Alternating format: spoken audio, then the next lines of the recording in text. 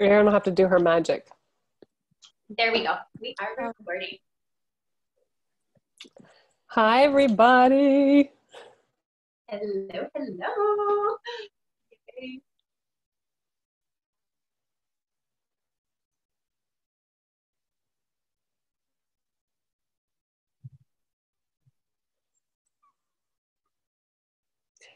Do you want me to, do you want me to start, Shelly? Sure, yeah, whenever Okay. you're Well, hello everyone. Thank you guys so much for being on the webinar, Manifest Your Rockin' Bod. Um, this is, I'm Donna Hildebrand and we have Dr. Shelly Persad. For those of you guys who may not know one or the other or both of us. Um, let's see, Dr. Shelly and I have known each other for six years now. Actually longer than that, Shelly. It just took me a few, it took me a whole year before I actually was willing to talk to you. But I actually knew you a year before that. Christy, can you guys hear? Yes. Oh, hi, Christy Tracy. I was actually asking my sister, Christy Brumman, if she could hear. Do a thumbs up, Christy. Christy Hall, if you can hear. Okay, cool. Um, so, Shelly is an amazing facilitator. She is a body expert. She's a Tantra facilitator. Is that he's Tantra teacher, a chiropractor. So, she's been working with bodies for such a long time and she knows bodies so well but I would say, you know, from my experience of working with her, it's because she knows her body, her own body so well. And that her knowing of her own body is the gift that her body's been to my body for my body and I to know each other in such an intimate way. And that's how that also bleeds out into every area of my life. It bleeds out into my massage practice when I'm touching bodies and working on them and allowing me to connect with them and my relationships with people and just on and on and on and on. Um, but I, you know, I met Dr. Shelly probably about seven years ago. She was doing a, she came into town and she did a little local class. And um, I enjoyed the class for what it was worth. I'm just going to kind of like be for real here for a second, Shelly, and kind of let everyone know how, how you and I became friends and worked with one another. But um, actually, I, I was just coming out of some really strong, like, deep rooted belief systems that came from different religions um, that I'd been in. And not that the religion is wrong or anything, I'm not saying that, but the belief system that I created and attached to from them definitely did not work for me and my body. And I com- had completely shut my body down. Um, I did not, I hated my body. And I had a great body. I mean, it was fine. There was nothing wrong with it, but I did not like my body. Um, I wore the same exact thing every day. I wore the same exact jeans, the same exact t-shirt, the same exact flip-flops literally every day because I thought it was the only thing that looked good on me.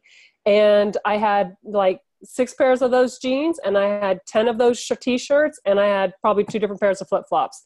I'm not kidding. It was my uniform. and um, I met Shelly at this class and I love the content of the class. I didn't really like Shelly though because Shelly was too in my opinion, sexual.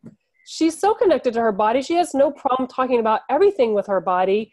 And I just had a problem with it because it's like, from the, my point of view, it's like, how can you talk about these things? I mean, you know, and not only that, but she talked about them nonstop. In my mind, I was just like, oh my gosh, if she says the word orgasm one more time, you know.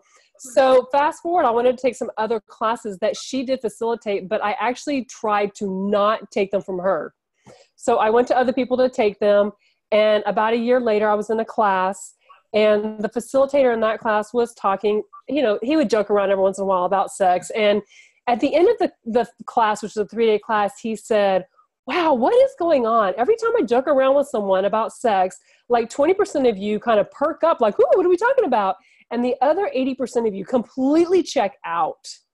Now, let me give you a little back information let you know that in my relationship with my husband we weren't having sex. And that was the number one issue in our relationship. And to me i saw it as an obligation. I did not get i did not receive enough pleasure from it for it to be worth my time. It was one more thing i had to check off of my to-do list on my busy schedule. So i i thought you know i just didn't need it you know it was like a burden for me. And I'm sure a lot of it had to do with also the way I thought about my body as well. I mean, I know that's the case now, But in this class, when he said that, he's like, What is it? Why are people checking out? And he goes, Oh, it's because it's like you're missing out on something and you don't want to know you're missing out on anything. And I remember thinking, I'm not missing out on anything. I could go the rest of my life without having sex and it would be okay with me. But he asked a couple of other questions that day, and one of them was, What are you defending for or against? That if you wouldn't defend for or against it, you could have a life beyond anything you have ever imagined possible. So I went home with that question, like, and I was like, hmm, okay, I am defensive about sex for sure. I am defensive about the way I look and the clothes I can and can't wear and all that stuff. So I wonder, am I really missing out? And if I am missing out, then who knows what I'm pretending not to know that could make my life so unbelievable so pleasurable and so enjoyable and could make me have so much more ease in my body because I had a lot of illnesses going on, like symptoms and stuff. And I was in the question, I was in the inquiry, and probably about two weeks of asking that question, all of a sudden Shelly popped up in an email. And I was like, oh, Shelly, eh. you know, I was going to delete it. And my body was like, no. I could feel something in my body. And I go, oh, is it Shelly? Is Shelly the person who knows something that I'm pretending not to know that can help me unlock all of this? And my body was like, yes. And I go, oh no, anybody but Shelly. But I, one thing I did know is I knew how to ask my body questions at that point, and I was willing to trust my body. And my body said yes. And so I called her up and I said, Shelly, these are all my point of views about my body. These are all my judgments about you. These are all my judgments about sex. These are all my judgments. I'm not committed to them. I'm just letting you know where I've come from. And I'm looking for someone who can help me break all this away so I can actually live my life. And she was just like, wow, that's the most vulnerable I've ever, like, if you'd looked at my list and knowing that I'm con- con- contacting Shelly, someone who called herself an orgasmicologist, she was like, wow, that you're so vulnerable. I can't believe it. And so anyways, that was the beginning of our conversations. And, and she started coaching me. She came to Dallas to do some different classes and whatnot. Um, Chrissy, can you bring my uh, charger in here for my laptop, please? And um, and one thing led to another. I got into some classes of hers and really started to dismantle all the judgments I had about my body. I started to dismantle all the judgments I had about sex, which absolutely has to do with receiving in your body. Um, and when I did that, not only did my my sex life improve with my partner, but my capacity to connect with every human being on the planet and the bodies that were on my massage table just became like something I'd never experienced before a profound connection. So, um, you know, just I want to introduce you guys to this fabulous, amazing, beautiful woman who I love so much because she literally was the introduction for me to myself five, six years ago, whenever that was. And my life has never been the same. I am happier than I ever have been. I love my body and I love the capacities that my body has. So, hi, Shelly. Hi, Donna. I remember that day so clearly. I remember the phone call when you were like, okay, this is, oh, let me just lay it out. I judge you for this and this and this. And I'm just sitting here laughing, going, yay. well, thank you for hosting this webinar. Thank you for being here. Thank you for being raw and vulnerable and desiring to share your knowledge, share your story, and share what you know is possible now with bodies for all these other beautiful women who are currently with us, who are going to watch us post webinar. Because unfortunately, it's like that thing that we judge the most, whether it's your judgment of me years ago or our judgment of our body, if we can let that go, like how much can your body, the thing that you're judging the most, actually be the greatest contribution to you? the same way you judged me the most, but then I became the person who could be the greatest contribution to you in that moment. So totally. Oh my gosh, that's so true. Sorry, I didn't to interrupt you. That's okay, no, but how much can our bodies honestly be the greatest contributions to our life living reality, not just, you know, the physical appearance like we talked about yesterday, but sex and pleasure and connecting. And I remember a powerful question I asked you. I was like, what would it take for you to be turned on in all areas of your life? What would it take for you to be turned on, even when you're massaging a body? And how much is that going to transform your healing practice? And you're like, oh no, I can't do that. But even that was a judgment. But as we work through that, it was like, wow, it just opened up so much more space. And people were like, okay, when can I book with you next? I remember you telling me going, people are like clients are addicted to me now. Like, what is this? But that's the power of our bodies. We are capable of embracing this energy of no judgment, which is the most like delicious, juicy, loving, adoring, cherishing, nurturing energy that exists. And it's just if we can show up for that with ourselves, then we can show up for that in that energy, in that space with our children, with our partners, with our clients, with our friends, with our family members, and be that invitation to a different possibility. Because we all have a body. We all are struggling with some sort of judgment. So, how much the more you get out of judgment, you can be that contribution to other people to get out of judgment themselves, even if they're judging you. Because with bodies, it's an interesting thing. Like, I can't tell you how many times I could feel the judgment of somebody else judging me and my body. And it's like, wow, that's not even about me. That's their judgment and that's about their body, whatever's going on for them. But the more the more free you can be of your judgments, you create this space where they're like, okay, I'm judging her, but I also like her. Like, what is it about her? So you plant that seed of no judgment. You plant that seed of consciousness for them to then maybe choose, hey, what is it? What is it that you have? Why are you so happy? Why are you so free and flowing in your sensuality, your femininity with your body? You say orgasms like, you know, I can't, I do remember a couple years ago, um, this girl had asked me, I was at a restaurant, she was the waitress, and she was like, why are you so happy? Can I just ask you, like, what is your secret? And it just came out. I'm like, uh, lots of orgasms. And she was like, like blank stare. She never came back to my table after that. I had to call over another waiter, like, uh, can you bring me my drink? well, also too, another thing that you um, taught me uh, because I had an, an abhorrence to you saying the word orgasm so much. Um, because I just didn't think that was something that should be talked about um, out loud as much as you like to talk about it out loud but I also didn't realize that um, it's not, I mean, it is the actual act of having an orgasm and sex, but there's also an energy. So when you are in orgasm with Christy, um, I'm going to mute Christy's phone. Oh, Christy, Tracy, can you mute your phone? Um, when you are actually having an orgasm in sex, think about the energy that that creates for your body. And then what would it take for you to have that, the energy, that creative, that life force energy that and take that to every place in your life and then how would that transform your body?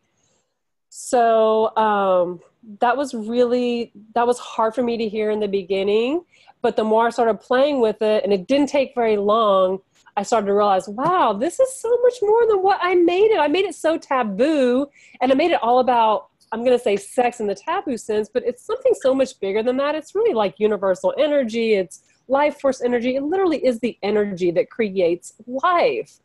And that's really was the invitation that you were asking me is what would it take for me to be turned on 24 7? And um, yeah, that was just such an amazing gift. And I can turn myself on anytime. I can allow anything to turn me on too. I can feel that energy rush in my body when I'm out in nature with a tree um, or, you know, hugging my daughter. Now, some people would say, well, that's horrible. That's, that's disgusting and perverted for you to have that energy with your daughter. But I'm not having sex with her. I'm just having the energy of complete connection with her. And that's what orgasmic energy is. So um, I like to just say that because it kind of helps to just, you know, wash the surface of the judgments that we have about all those words so we can actually have a conversation and create something completely different with our bodies. Absolutely, because most people think sexual energy is having sex. It's the literal act of sex, but it's not. It is, like you said, it's life force, chi, kundalini. Every different culture has a different meaning for this energy that permeates every cell of our body.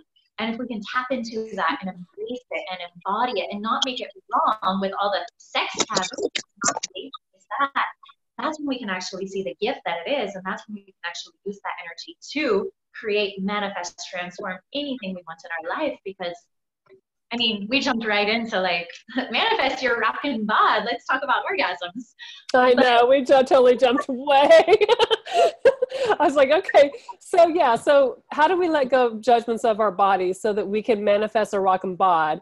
And also, like, what are all the other judgments we have about bodies that actually keep us from having a rockin' bod, a body that we truly love and enjoy, um, like diets and forced exercise and all those things. I mean, yes, our bodies like to move, Shelly. So it's not like we can't ever move and expect to have a, an amazing body that really works and, you know, can have a lot of agility and skill to it. Um, so how do how do we balance all that? How do we get out of those judgments and, and what else is possible with that?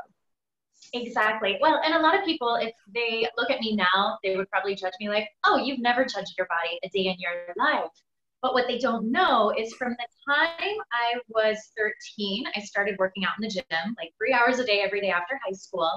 And I couldn't wait until I turned 18 so I could do fitness competitions because I had all these friends in the gym who were competing. And I thought, wow, okay, that's going to be the time when I actually achieve my perfect body, when I have a six pack, when I have ripped arms, when I have nice glutes and legs. So I was constantly striving for that perfect image of this perfect body of what I thought it was from a very, very young age. And looking back, like, of my young years, I remember a few times, you know, my mom made mention, oh, you know, boys aren't going to like you if you get cellulite. You better start running. You better start working out. So that was always kind of ingrained in the back of my mind. And then at one point, she did make mention, like, oh, you're you're starting to get a little pouch there in your belly, honey. Like, you need to do something about that. So that's where that was my driving force to start working out in the gym at 13. And then that just became an addiction. It was like, okay, I gotta have the perfect body, I gotta have the six pack. So how do I get there? Okay, well, if I compete, if I put my body through that living hell of competing and dieting and being asleep at the gym and cutting down everything to get to 5% body fat, then yay, finally I'll have the perfect body. So I did four years of competing seven competitions. I won them all between first place and third place. And even on the day of competition, standing on stage with my tan and my six pack and my glutes, I still judged my body. It still wasn't good enough. Well, I got second place. That's not good enough. Or, you know, the judge would tell me, oh, well, your legs could be a little bit more defined. Your glutes could be a little tighter, a little higher. And I'm like, okay, back to the gym. That literally the next day it was like, back to the gym. I have to go become perfect. So there is no whatever your standard of perfection is, you're never going to get there because once you get there, there's going to be a new standard of perfection that you're going to constantly keep yourself in a state of judgment, trying to get there to the next level, to the next level. And when I was in that world of bodybuilding, it was the unhealthiest world that I was ever in. Everybody in that world were they had mental issues, emotional issues. They were very obsessed with their body image. And if you don't know anything about that world, like after you get off stage, you go and eat and you eat and eat and eat until you literally look like you're pregnant.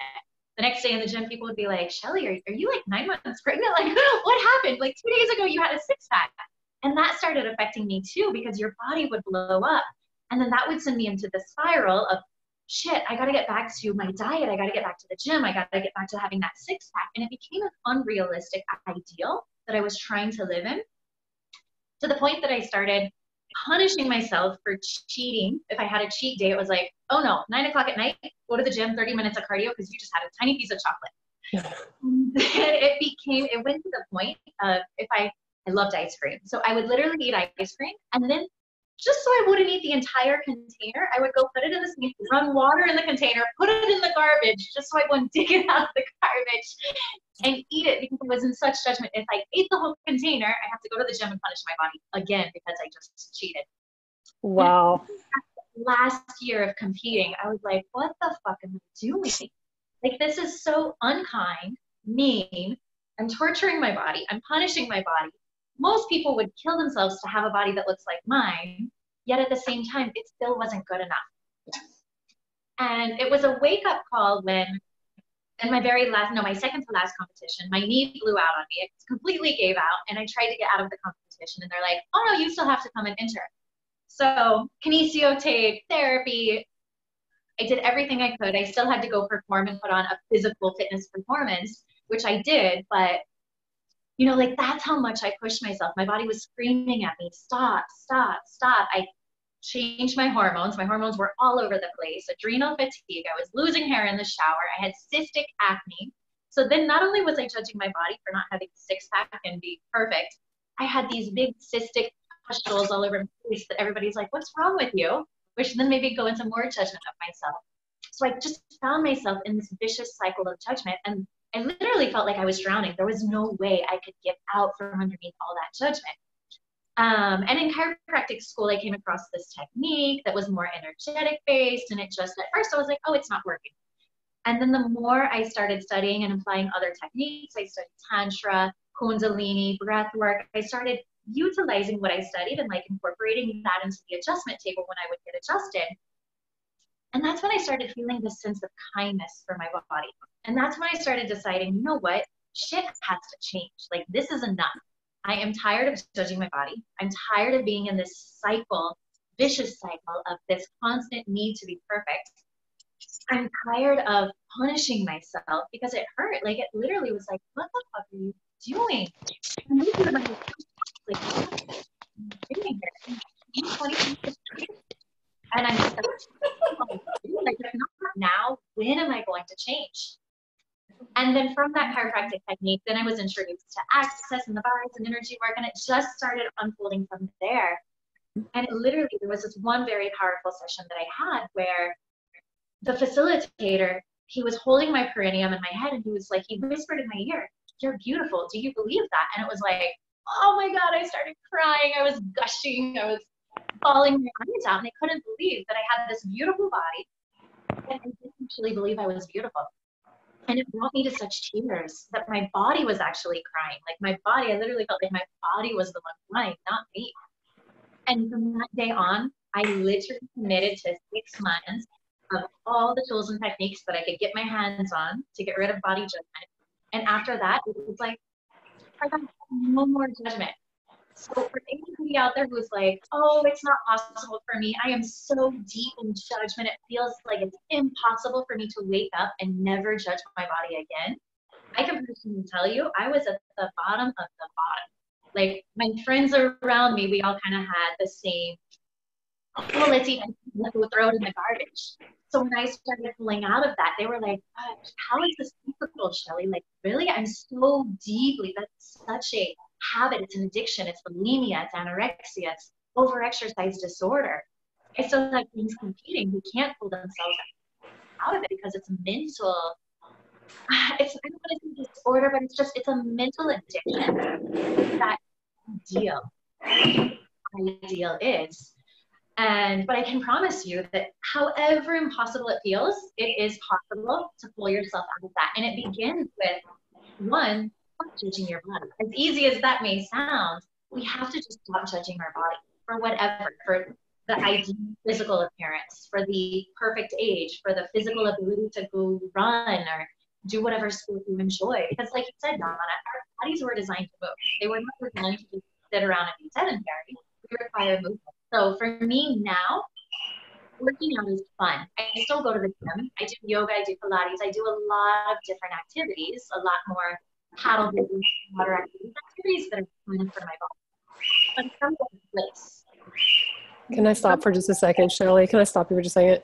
We're having a hard time hearing you. Alicia, can you mute your um, device, please? Thank you. Thanks. okay, now I can hear you. biggest thing that women need to look at is are you doing any of these activities? Going to the gym yoga dieting juice cleanse whatever. Are you doing it because you love your body? Or are you doing it because you hate your body and you're looking to achieve this ideal state of physical appearance ideal state of health ideal state of whatever? And if you're yeah. in that state of doing something because you don't like your body to try to achieve a better state not from a state of just loving your body and for the fun of it, you're always going to be in that cycle of judgment. And you're never going to be able to pull yourself out of that. And that right there is step one. Do well, it because you love it, not because it's an obligation, not because you have to, not because you're in judgment.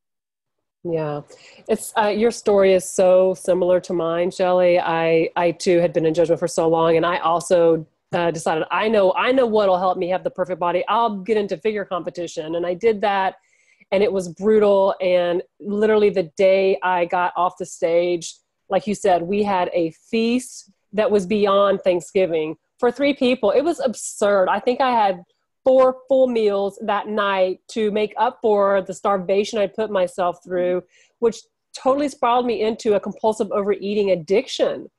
For the next year, I was a compulsive overeater. Um, and I gained like, I don't know, I think 20 pounds in one month after my competition. But the worst thing is, I didn't have a, a signal in my brain anymore that could tell me when my body was full. Like, that's how disconnected I got from my own body by forcing this other perfection reality on it. Now, what I can say is that when I met you, I was probably about 20 pounds heavier than I am today. And I remember you saying, you know, what if you would be willing to show what's your, what I, my biggest fear was people seeing that I had cellulite. And you're like, what would, what would it take for you to be willing to show your cellulite? And I was like, oh no, no, no, no. I mean, that there's just no way, Shelly. I could not do it but I also was willing to trust you, even though it didn't make sense to me that that was going to be the thing that would change my body. But we started with my biggest judgment, and she was like, I want you to wear shorts and show your cellulite. And it was so difficult. And I was doing it also with people who I definitely wouldn't want to have see me, like people who had really good bodies, you know? And I did it. And I also practiced when I saw my cellulite and would go into judgment, I would practice putting my mind in a different place. That was the best I could do at that time. But what was so phenomenal, and you know, I don't know if this is going to happen for every single person's body, and it doesn't matter if it does or not, because what's really important is that you just become profoundly connected and can start hearing your body again and, and just love your body. Um, but what did happen for me is that um, the more I was willing to show the parts of my body that I was I was horrified to show because of my judgments about them, the more my body started to change. And literally within, I don't know, what was it like? Five weeks, maybe, I dropped 20 pounds. I never went to the gym one time.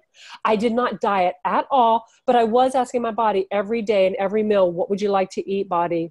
And I was willing to only put in my body what my body told me to put in.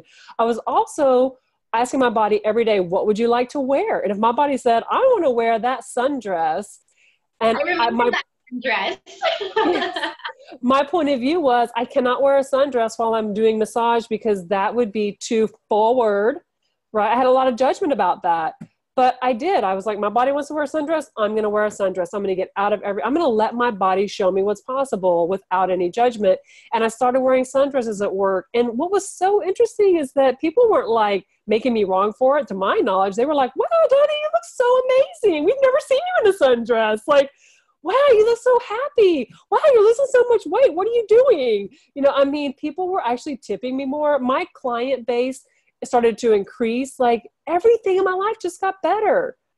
And through that experience, I got connected to my body. And I was like, wow, my body really has my back. My body really loves me. And then I didn't want to judge my body anymore. It's just like I was unwilling to do it anymore because I could not. It's like if I had my child, right, constantly trying to give something to me, and then I was just like making her wrong for every single gift she was trying to give to me. Like if your if your three year old brings you a coloring page, of course it's not going to be the best, right? But it comes from the bottom of their heart. You wouldn't tell them that's a stupid coloring. And that's basically what I was doing to my body. I was making it so insignificant. And there was so much magic behind it. Absolutely. And that is so like it's hard for some people to do what you did. Like you were just like you ripped that band-aid off. Where for me it was like the six months because it was so like literally for six months I put sticky notes everywhere inside my fridge, inside every cupboard. Like, body, what would you like to eat? So it was constantly there reminding me. Um, but yeah, oftentimes that judgment that you have of you is not even your judgment because we're all connected to this mass unconsciousness of judgment. So we really have to stop and ask ourselves is this judgment of our body is it our judgment or is it society's judgment? Is it what every other woman on the planet is judging on their body? So if you're the only one who's going to stop judging let's say your cellulite because every woman judges her cellulite you're going to feel like the odd man out you're going to feel different you're going to be seen you're going to feel like you're vulnerable you're going to feel like you're naked for the entire world to now judge you which is a very difficult thing to do but i remember when you did that literally you're like I'm ripping the fucking band-aid off. I'm just done with this shit. And that is when your body literally will transform like that. You have to get to that point that you and I got to where it was like, fuck this shit. I'm so done torturing my body. And when you make that decision to be like, no more, I'm done, your body's like, thank you. It's like this musical notes to my ears. Like, what are we gonna do now? Now that you're not gonna judge my body. it is. And you know, it may not happen over your body may not drop 20 pounds in five weeks. It may not happen overnight. Um, but the joy that your body exudes and the connection that you have with your body over time, the more you practice that, your body will just change a little more and a little more and a little more and a little more. I've seen it happen multiple times. It wasn't just with me, I've seen it happen so many times with so many people who I've helped coach through this as well. And it's just so cool. It's worth a try. It's so much better than being in the constant did it, did it, did it, did turmoil and your brain that has you completely exit being alive. Exactly. Yeah, I had last year one of my assistants who was working for me. She just took all my tools that I gave her, she put them to use. And literally one day she sent me a message late at night. She's just like, Shelly, oh my God, I got to tell you this. Can't wait till we get to the office tomorrow. She's like, I just lost 10 pounds in one week and I did nothing. Like, what is this possible? Like, what the fuck? Oh my God, I did nothing different except using all the tools that you gave me. And I'm like, yep, that's possible. But even for me, my last little piece of judgment that was hanging on there till the very end, I was always, I always had this like bloating thing. After every meal, I get bloated, and it's like I tried probiotics and enzymes, and I did everything that you're technically supposed to do gluten free, raw, vegan, vegetarian, you name it, tried it, been there, done it, nothing helped this bloating thing. Until one day I realized, okay, I have to divorce my mom. Like, as hard as it's gonna be, I have to divorce her. I have to let go of all this mental and emotional baggage that is keeping us connected because energetically, you're connected to your mother at your stomach, at your belly button. That's where you were connected to her literally I wrote her a letter, divorced her. Okay, you know what, mom, I'm done. Da da da. This is how I feel. This is what I've always wanted to say to you. The moment I made that decision to completely cut the cord, disconnect myself from her, send her the letter.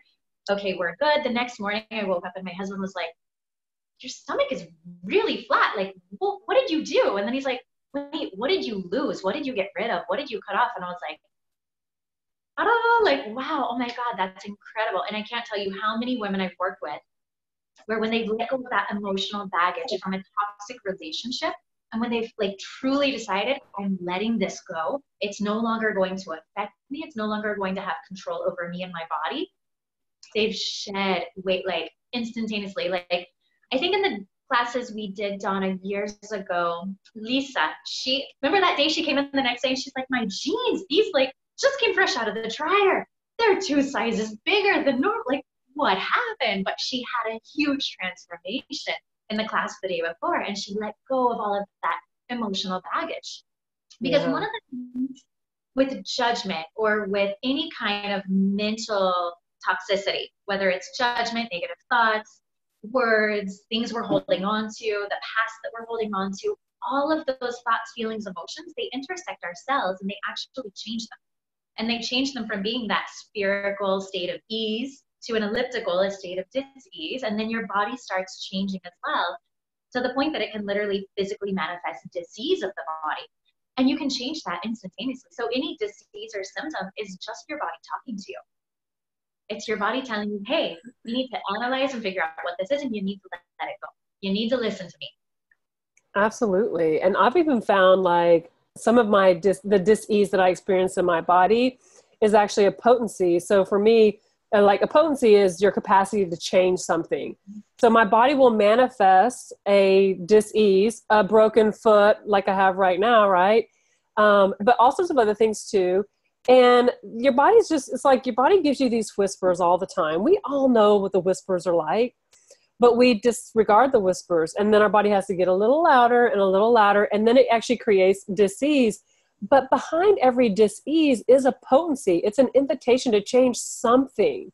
And so if you can look at if this disease was talking to me right now, what would it be saying? So for me, um, when I broke my foot, I was clear my body was saying, I need a fucking break.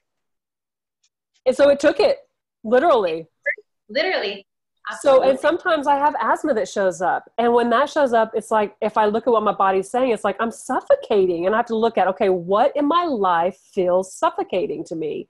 And then I have to look at that area and go, okay, that area has to change now. And when I start to change that area of my life, the breathing opens up again.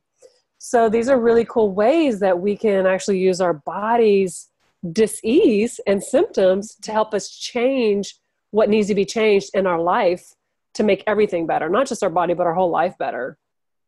Absolutely. But if judgment is there, we're never going to be clear about what it is. Like with that bloating that I had gone through, and recently I had a little bit of bloating, and I was like, what's going on here, body? And it was just a moment of stress with my office and a lot of transformation as I'm expanding and growing my office.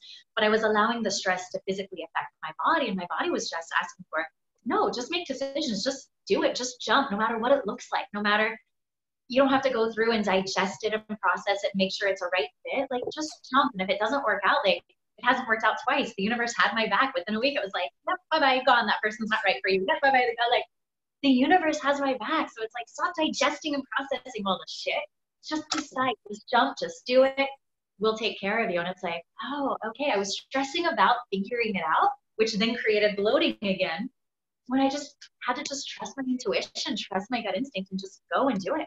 But again, if we're stuck in the judgment of, oh no, what do I have? And what's what? I need to take medicine. I need to do this. And you're now fitting into society and what they tell you. Oh, you have this, therefore you need to do this, this, this, this, and this. That's judgment. So you're not listening to your body.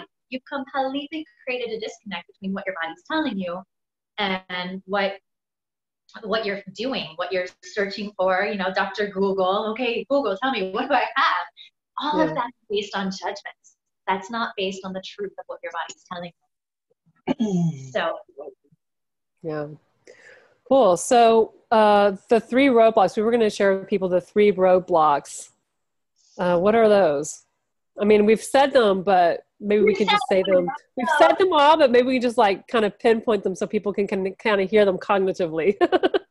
exactly. Well, the first one, our mind is our own worst enemy in multiple ways, not just with judgment, but again in our sex life as well.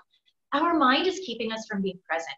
Our mind was designed to be a machine to process things, and now we literally have created it as our best friend, but really it's not our best friend, it's our enemy. So judgment lives in our mind. So as long as our mind is active with judgment, we're no longer present. We're not connected, like I said, with that gut instinct. The judgment is clouding my connection with my body. I'm listening to this, I'm not listening to this.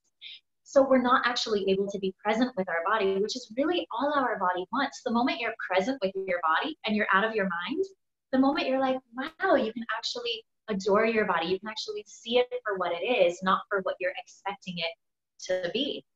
So, how do we get out of judgment of our mind? Well, there's a lot of different techniques and tools that you can do. Find one that works for you, whether that's interesting point of view. When you look in the mirror, like, wow, why am I judging my body here? That's an interesting point of view that I have about my body. You can also focus, there's another one that I like, like the kaleidoscope.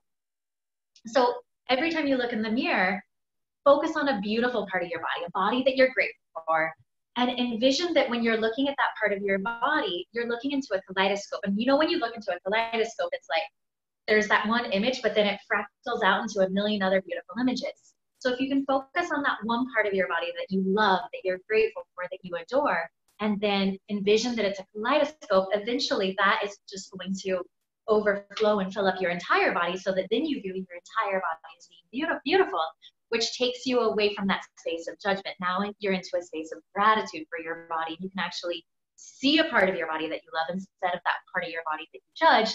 And before you know it, because you're no longer paying attention to that part of your body that you judge, it's just going to slowly start changing, or it'll change pretty fast. So it does. It does that for sure. Yeah. And the less, you know, with that, I know we're talking about fast transformation and it can happen overnight but I've also had a lot of clients who are like, oh, the tools aren't working. Whatever homework you gave me, it's not working. I'm still judging my body. And my biggest advice there is don't give up. It's been years of judging your body. It's now a habit. It's like brushing your teeth every morning. It's on automatic pilot. You wake up and immediately you judge your body. Like yeah. you have to give yourself that time. That's why I gave myself six months.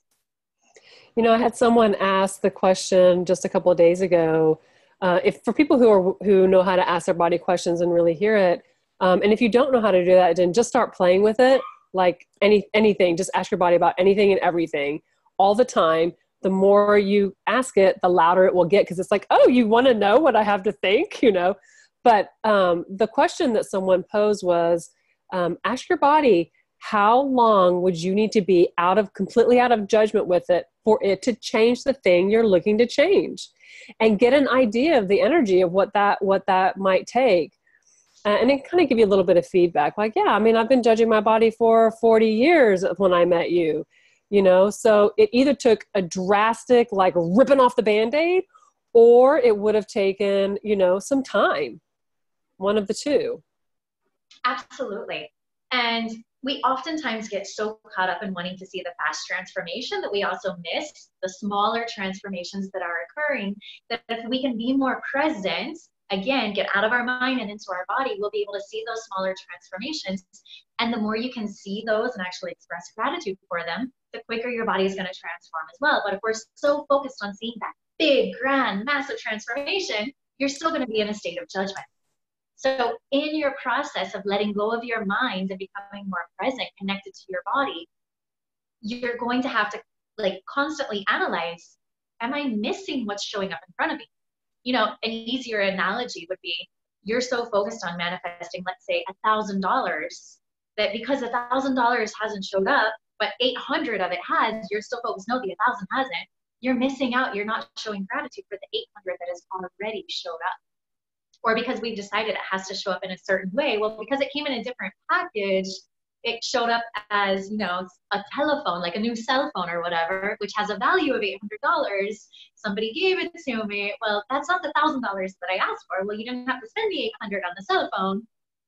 So we have to let go of all those judgments of how it's going to show up, when it's going to show up, why it's going to show up, what it may look like when it shows up, and all the uncomfortableness that we may have to go through to get it to show up. Because I know for you as well as for me, it was a pretty uncomfortable journey. We had to do a lot of uncomfortable shit. We had to step outside that comfort zone into the unknown to actually like hand over full control to our body to be like, body, I trust you here. Yeah. Like, uh, so there were days I really had to saturate in the um, discomfort of choosing to show my cellulite but in saturating in that discomfort of let me let me rephrase it. I was saturating in the discomfort that i had about not wanting to show my cellulite. But the longer i saturated i'm like dang it this is just too exhausting. I'm just going to do it. Like you start to get clear of like what's going to show up on the other side or or what you're just maintaining which is misery. It's just it becomes not worth it anymore no, absolutely. And that again is that point. It's I call it that bucket point. You got to get to that bucket point where you're like, you know what? I'm done suffering. I'm done saturating in the uncomfortableness. Like, let me just fucking rip that band-aid off. Why not? Like, what am I waiting for? If not now, when? Um, but coming back, there was one other little thing that I wanted to mention on if we look at that judgment, oftentimes a question I ask is what comes first, the body that you're judging, let's say your cellulite, or is it your judgment of the cellulite? It's like, which comes first, the chicken or the egg? And literally, quantum physics has proven it's the judgment of the cellulite that shows up first before your actual cellulite. So the more you change your judgment and stop judging, the cellulite's not going to be there because you're no longer projecting that into your reality and popping it into your physical reality, which is your illusion. So you're no longer creating cellulite. So the more you can stop judging it and having that thought that it's there, the less you're going to see it in the mirror, which is then going to contribute to a different cycle where it's like, okay, the less you see it, the less you judge it, the more you're grateful for the beautiful legs that you do have. Yep. exactly it's true. It's true, guys. Okay, so our mind, that's the one that's the number one roadblock. Yes. The second one is femininity. It's connecting with that. We have a female body. So every body on the planet has masculine and feminine energy. However, us women have decided to become a little more masculine for many, many, many reasons. And we've disconnected from our feminine energy, but we all have it inside of us. And what happens when we've disconnected from the feminine energy, because let's say we've made it wrong, we've made it inferior, we've made it submissive, we made it all those things that we may judge that we don't want to be viewed as because we want to be viewed as dominant, productive, successful, this, that, da da da da da. So that judgment has now created us to create a separation from our femininity. And that energy, that feminine energy, is your nurturing energy. It's that motherly energy. It's that caring, the TLC, it's you being intimate with your body. So when we've disconnected from that, you become more masculine, which is the analytical driven go, go, go, go, go. I have to do this and this and this to get here. And that's where I was functioning from. Like I said, I grew up in the gym. I didn't have many girlfriends. I always surrounded myself with guys. So I became very masculine, literally to the point of doing sex like a man as well, where it was like, yeah, I've got sexual needs, wants, and desires I'm not going to have emotions with sex. I don't want your phone number. I don't even need to know your name. Like, we just met in a bar. You want to go home? Like, that's how I did sex because career fitness competition, like, no, I got shit to do tomorrow. And you got to go because I got to get up and do my 5 a.m. cardio. So I had become so masculine that I literally wasn't capable of even doing relationships with a partner until I started connecting and like tapping back into my feminine energy and relaxing into that and being with it and not judging it, not making it wrong, and not judging that I have to be masculine to be successful, to make money, to take care of everything I need to take care of. And when I embraced that feminine energy, that's when my body really was like, like, thank you. We don't have to be so go, go, go, go, go anymore. We don't have to be that hustle and bustle of New York City. We can now be that energy of Hawaii, we can relax, we can go with the flow, we don't have to force anymore. So that is such a huge contribution to your body. Just to be that feminine energy, to connect, to make time to nurture your body, to give it what it wants, to listen to it and be like, oh, you want to go do yoga or you want to do, or you want to take a day off? You want to just go play and tap into pleasure? And then your masculine part of you is going to be like, no, no, no, we have shit to do. We got bills to pay. We got this, this, this, this. But when you can actually just listen to your femininity and be like, okay, you know what? No, I'm going to take a day to just go play. You actually create more. You get more shit done. You get more productive. You attract more clients. That money that you were worried about actually shows up and your body actually starts transforming because it's like, ooh, this feels good. We can actually just be instead of do you know that's so funny because i'm looking i'm remembering back to whenever i was really working with you a lot you know in the beginning and you had me playing a lot. You were like nope go play go play go play. And then i started dating too I, my relationship with my husband had come to an end and i started dating and um, i met my current husband now and i took a weekend to go play with him when i had a million things to do. And i just remember like the day that i was coming home from playing all weekend I was getting on the plane early that morning because I had to be at my daughter's graduation from elementary school like at 3:30, and I'd left my uh, license and something at my boyfriend's house at the time, which is my husband now. And um, it totally screwed up my whole day. And I remember completely fretting for a little while that I'm going to miss my daughter's graduation. That's what I get for playing. That's what you get. You played too much, Donna. That's what you get but luckily I was in coaching with you, so I also quickly transitioned back and got out of that whole like I've got to control this and make this happen this way, this one way I know it's going to happen. I stepped into asking some questions. Okay, like what else is possible? Letting my body relax. I went back to my um, boyfriend's house. We just like hung out in the hammock and cuddled until my the next flight was available, which was like three hours later. And interestingly enough, I didn't see how I was going to make it work how it was all going to kind of unfold. But it unfolded so beautifully, Shelly. I was able to get on a different plane, have extra time with him, get on a different plane.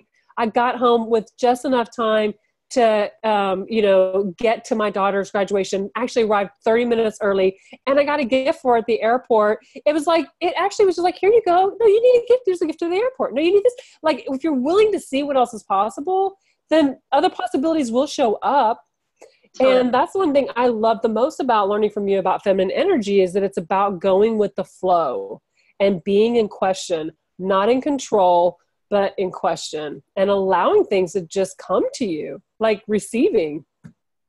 Yeah, and that's the key right there. Not being in control because out of all the women I've worked with, we all have this tendency of being control freaks. And we do it with our bodies as well. That's why we're so addicted to judgment. That's why it feels so hard to let it go because no, that's my control. At least I feel I can control something if I'm judging my body because if I stop judging my body, then what the fuck do I do? And I remember like when I was stopping judging my body, when I was tapping into my feminine energy, there were days where I would walk into the gym and I just look around like, what do I do? I didn't have that like, okay, you're gonna do these four exercises and these four sets and 12 repetitions. Like all of that just wasn't there. I was like, okay, body, what would you like to do? And for a moment, there was this space of stillness. There was this space of the unknown where I didn't hear anything. And my body didn't really give me an answer and I didn't really know what to do. I just felt so uncomfortable like, wow, I don't know what this space is. This is foreign to me. Hmm. But the more you step into that and play with that, the more you can actually create more and the more you actually realize, wow, that the form and structure of how I used to control my life actually didn't work so well for me. The more I just let go of control and let it come, like pun intended as well, like let it come, surrender to it.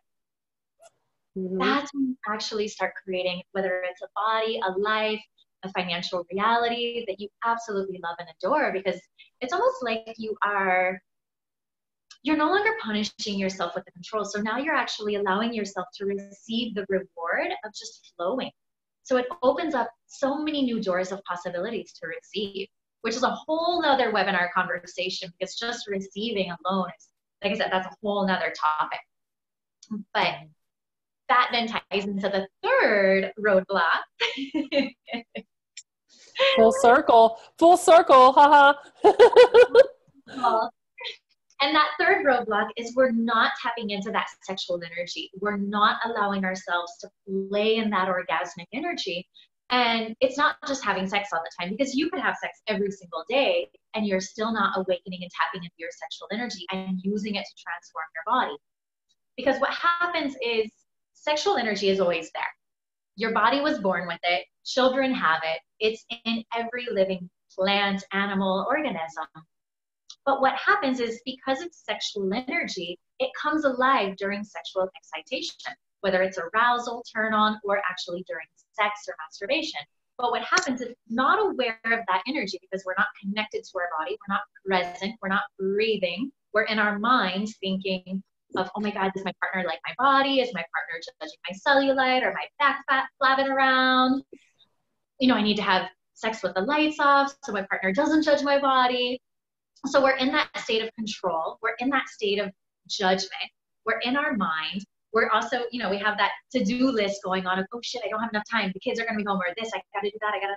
So our mind is constantly active, which is roadblock number one, and that's preventing roadblock number three, which is your sexual energy from actually awakening. So how we do sex in society today is actually wrong because we're not allowing our full potential of sexual energy to awaken.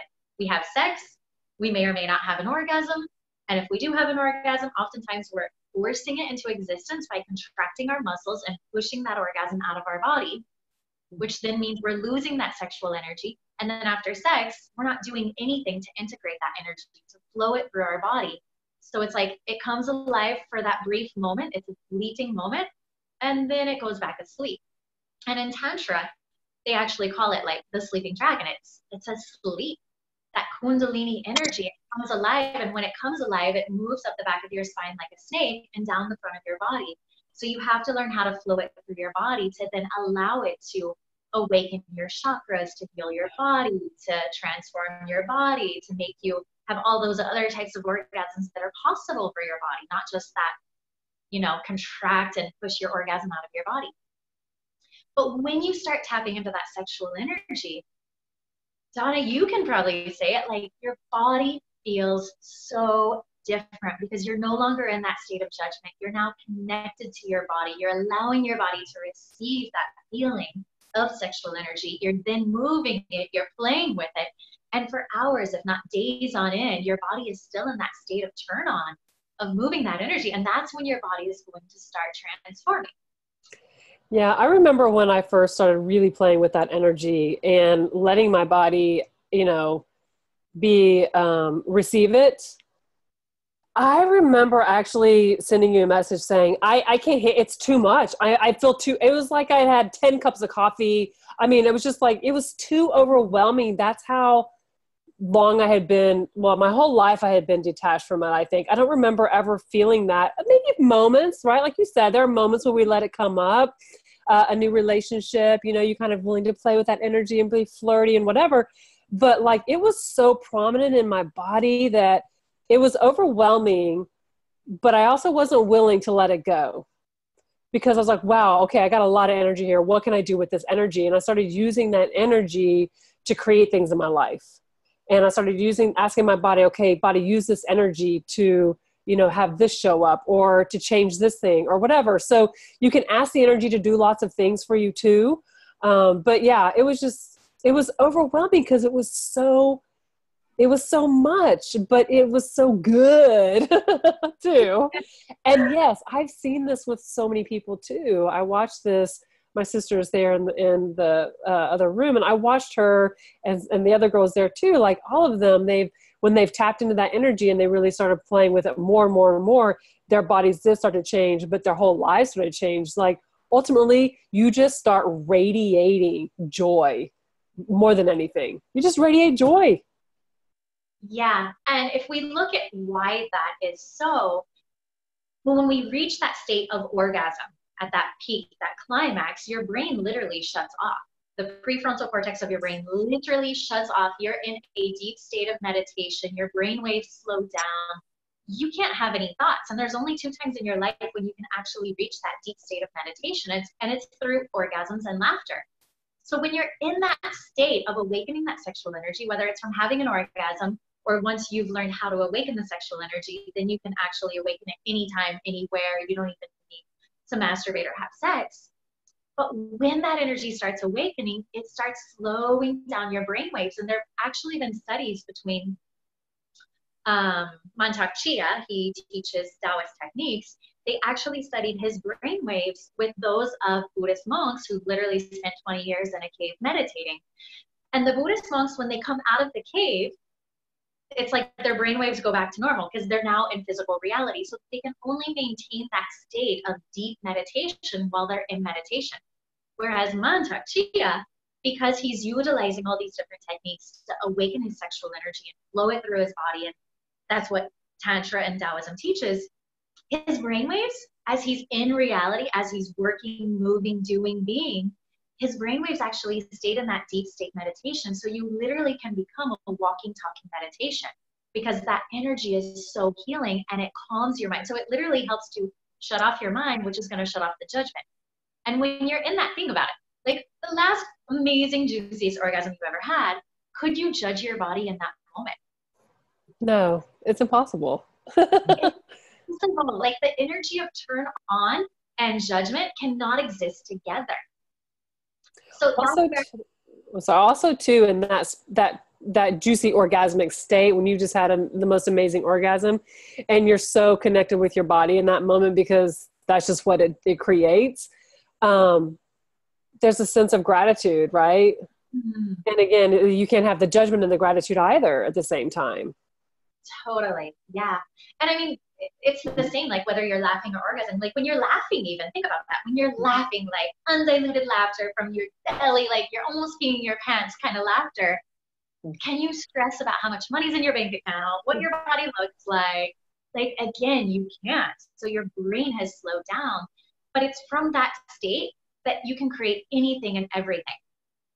It's from that state that napoleon hill talks about that all of these geniuses in society they use that state of turn on that excitement that arousal that awakening of their sexual energy to manifest and create their ideas their inventions their books their wealth their paintings their art their music. Yeah. So think about in his book it's there's a whole chapter on sexual transmutation. But again it's not just sex it's awakening of that sexual energy. And for example, one last little thing that I wanted to mention is when you look in the mirror, can you be turned on by your body? Like, can you look at your body, not from a conceited place, but from a place of, wow, I am so turned on by, by my body that I would love to just have sex with my body. I would love to just be with it and touch it and play with it. If I was my partner, I would be so grateful to be in a relationship with me because that energy that you have for your body is like, wow, I would love to have sex with me right now. That energy is what transforms your body because your body is like, oh, really? Ooh. Yes. Also, too, Alicia was just saying in the comment section that when she's embodying orgasmic energy, um, that it completely gets rid of any anxiety or depression for her. Oh, absolutely. There's a million health benefits for embracing and embodying that orgasmic energy. Because again, you're you're increasing and enhancing and releasing all these chemicals in your body, the happy chemicals, the love drug, the dopamine, like you're you're increasing all these chemicals that make you feel joyful. So then your body, like you said, your body starts radiating it. So then people are naturally drawn to you because it's either they're drawn to you, who's this beam of orgasmic sexual energy, or they're drawn to somebody who's taking medication, they're depressed, they're stressed, their energy, their vibration of their body has dropped at a lower frequency and it doesn't radiate, it doesn't glow.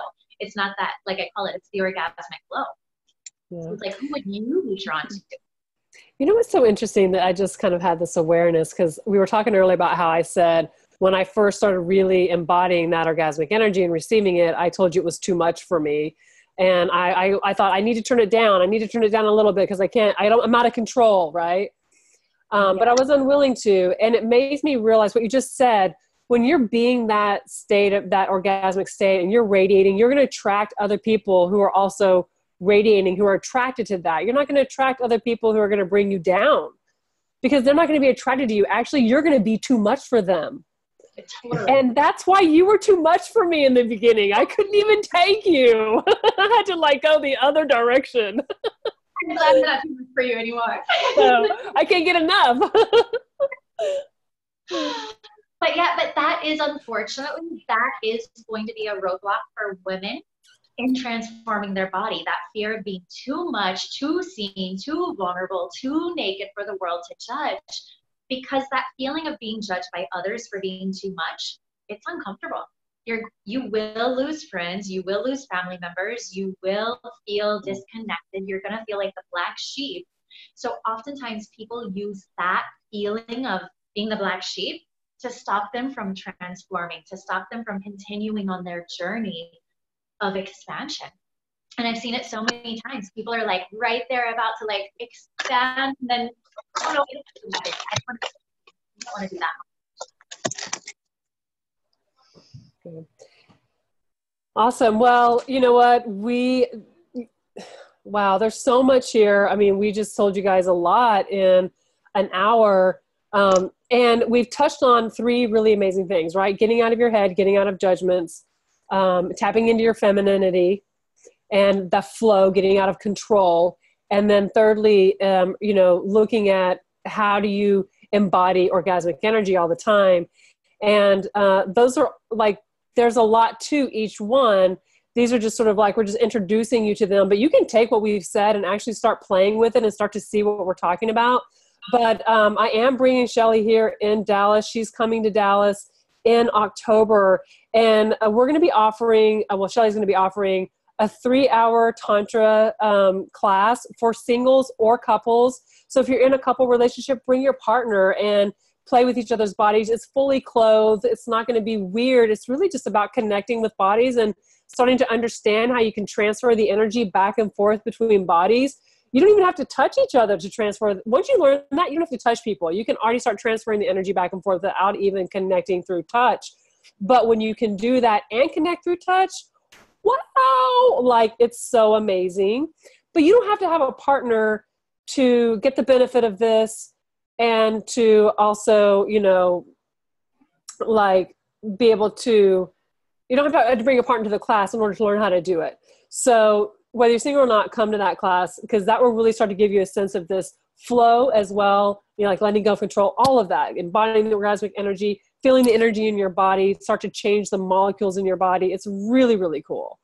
And then also a full day on body like getting out of judgment getting out of your mind body image, transforming the way we see our bodies, and all the science that you bring forth. Shelly, you have so much amazing information that really helps us to see not just from okay, an energetic place, but also a logical place too. And you, you, you have this really brilliant way of merging the two together for us to where it just clicks. And I love that. So that's like a full day class. Um, after that class, you will not judge your body. Like you will not leave that class judging your body. And then thirdly, um, a full day uh, class called Pleasure Quest, looking at uh, how to use a yoni egg. Uh, you talk about that because talk about that for just a minute. Yeah, well, one of the my favorite way and one of the easiest ways for women to stay turned on all the time is with a yoni egg. And every woman needs a yoni egg. It should be her absolute birthright. Like, honey, here you go. You just started your menstrual cycle. Here is your gift, a yoni egg. Because what happens is, as women, our pelvic floor muscles are super important for our sexual health. And in 99% of women, they're weak. You don't have to have a baby to actually have weak pelvic floor muscles and suffer from incontinence and prolapse and all those other unwanted weak pelvic floor symptoms. Because even from training and doing too many deadlifts and squats, my pelvic floor muscles started getting weaker and weaker. And I noticed even jumping rope, it was like, what the fuck? Am I like, do I feel like I have to pee? Like, this is not normal. in my early 20s, no babies. This isn't good. Um, but I also struggled from competing. I also struggled with horrible menstrual cramps, ovarian cysts. The doctors told me you're never going to have kids. You've got polycystic ovary syndrome, blah, blah, blah. So the yoni egg has been the biggest contribution to my life, my body, my sexual energy, and healing all of those sexual things that were going on. After one month of using my yoni egg, no more menstrual cramps. Like none, zero, zilch. I was like, no, this can't be possible. Is this too good to be true? So I did my own little experiment. I stopped using my yoni egg for a month, and guess what? Menstrual cramps came back. So I was like, okay, the only thing different was the yoni egg. So I was like, okay, baby, come on, give me back that yoni egg. But what happens is with weak pelvic floor muscles, they act as a hammock between our pubic bone in front and our coccyx, coccyx in the back. And those are your first two chakras.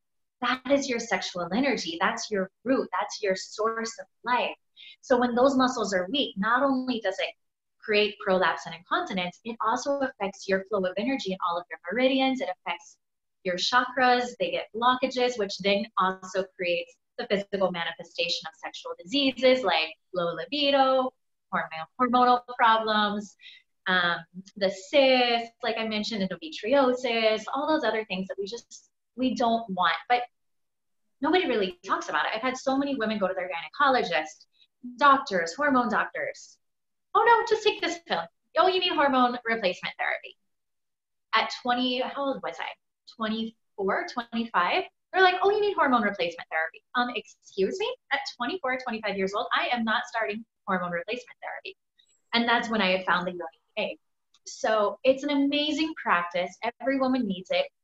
And you're going to notice, like, you just live turned on. And it's for any woman, any age, even if you're postmenopausal, I've had women in their 70s and 80s start using it who were told your sexuality is dead. Like, bye bye, no more. You can't have sex anymore. It's there's cobwebs in there. a solution because coconut oil was not enough. And literally, a couple weeks after all of these 70 to 80 year old women started using it, they were like, oh my God, Shelly, I've got a new boyfriend. I'm having sex. Like, this is incredible. I even had recently here in Mexico a couple months ago, I had this lady come to my class. This is just an incredible, beautiful story. She brought her two 20 year old daughters with her. And at the end of the class, she was like, okay, ladies, I am here because I'm divorced. And I know I'm divorced because I had cut off my sexuality. I hated sex. I couldn't have an orgasm. Got into Catholic and I don't want my two daughters to repeat the same pattern that I did. I don't want them to end up unhappy. So she's like, I'm here, and that's why I'm buying a yoni egg, and I'm going to start on this practice. So the next month, I did another short little intro teaser class. She came back before the start of the class. She's like, okay, can I just like share my little story? And I'm like, mm. sure, yeah, absolutely. And then I almost cried because she's like, ladies, I'm 53. She's like, in one month, I started using the yoni I taught myself not just how to have an orgasm, but I actually can squirt. I can actually ejaculate. I manifested a boyfriend who doesn't live here. He lives in Guadalajara, so I don't have to see him all the time, which for me is the best relationship ever. Like, and look at me. Like literally everybody in the class was like, you look like you're 10 years younger. What happened to you? You don't look 53 anymore. You look like you're in your 40s or 30s. She's like, yep, thanks to that little yoni egg. So it keeps your energy awakened. It gets that energy flowing through your entire body. It keeps you wet. It increases your sensitivity so you can actually expand into all those other amazing types of orgasms. And you don't need sex to have orgasms. Like I've had women who have literally had an orgasm sitting at a table, selling timeshare with clients in front of them. They message me after, like, Shelly, oh my God, I just had an orgasm with my egg inside of me. And I gotta stay out. Like, so, so awesome. that class is going to be on pleasure and why women have created a disconnect from pleasure and how we can take back that power. Yeah.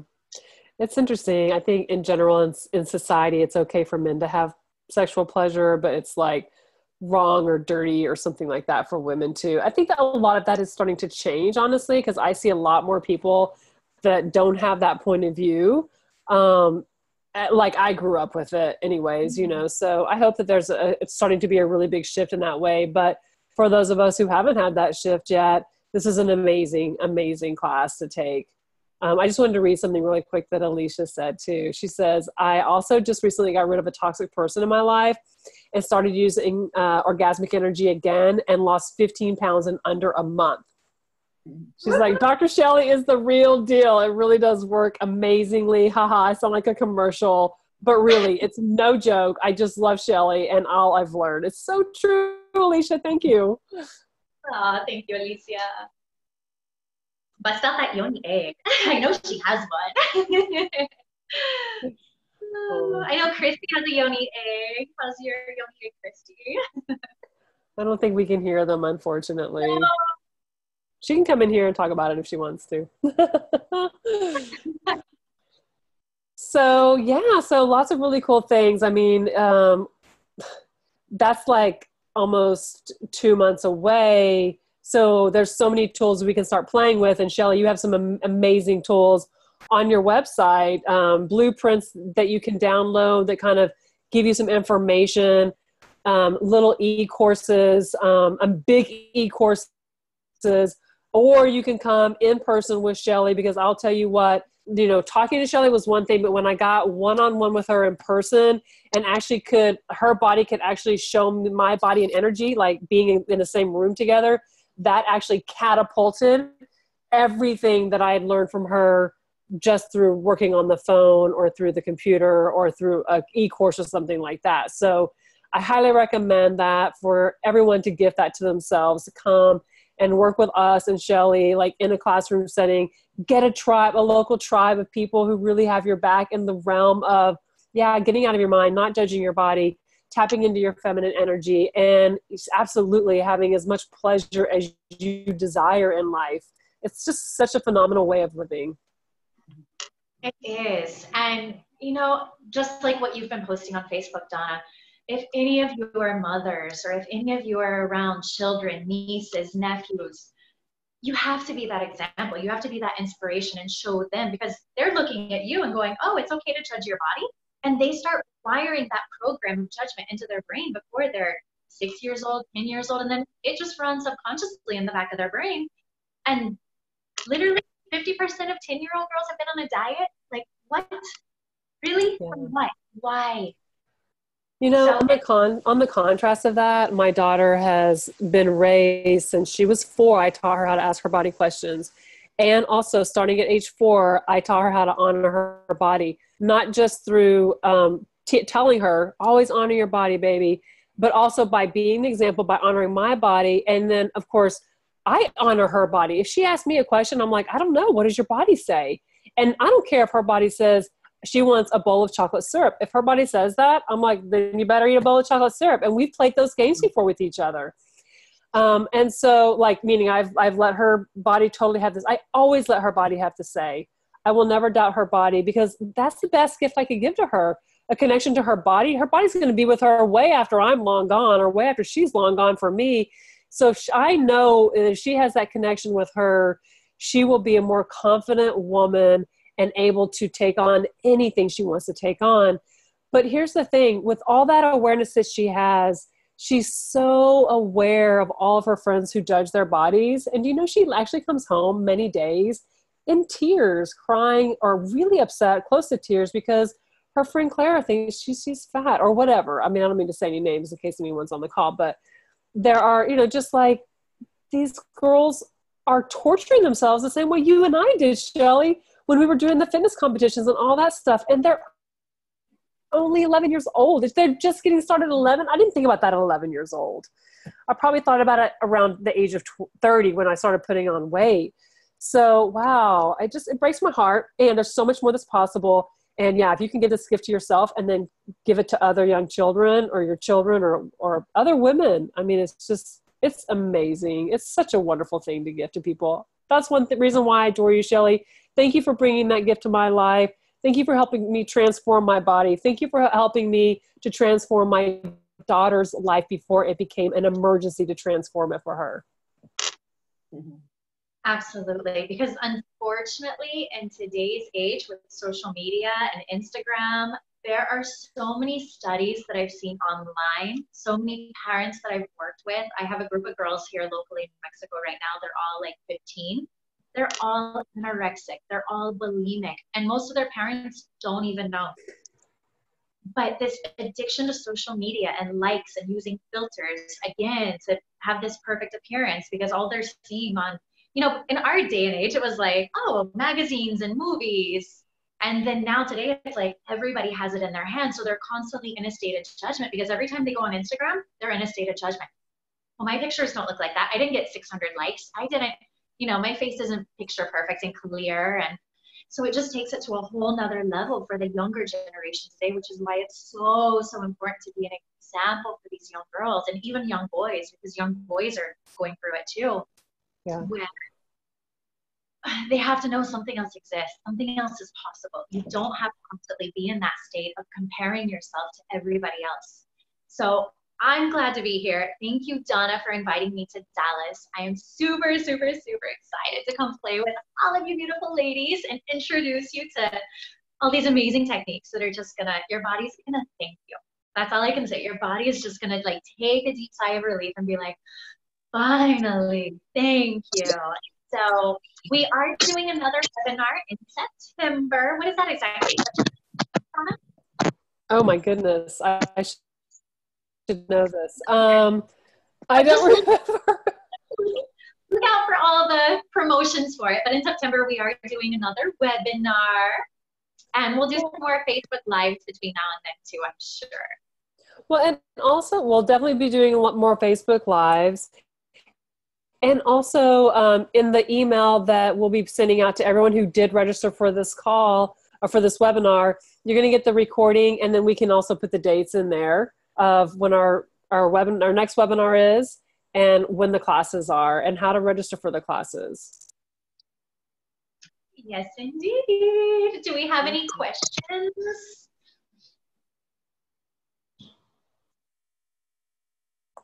Are you all blissed out?